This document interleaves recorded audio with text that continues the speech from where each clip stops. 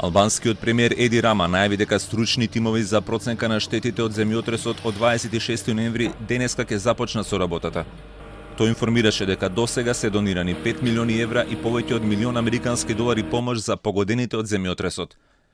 Рама изјави дека шаторите во кои се сместени луѓето кои останаа без своите домови во разорниот земјотрес во Албанија ќе бидат одстранети и овие семејства ќе бидат сместени во хотели – Рама потврди дека во земјотресот животот го загубиле 49 лица, од кои 25 во Драч, а 23 во Тумане.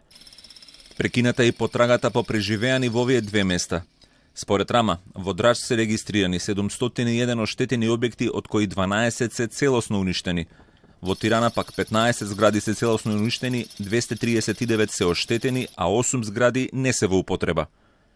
Албанскиот премиер предупреди дека сите луѓе кои шират лажни вести и паника меѓу граѓаните ќе бидат санкционирани.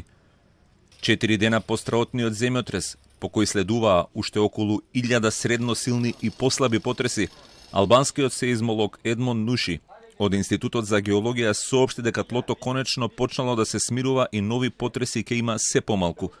Според него целокупната сизмичка активност оди кон смирување – Во изјавата за албанската телевизија Ора News, тој подлекол дека сеизмичката активност се уште постои, но е значително послаба. Во меѓувреме, двајца од потешко повредените луѓе кои беа хоспитализирани во клиниката за травматологија во Тирана, со хеликоптер биле транспортирани на понатамошно лекување во Италија.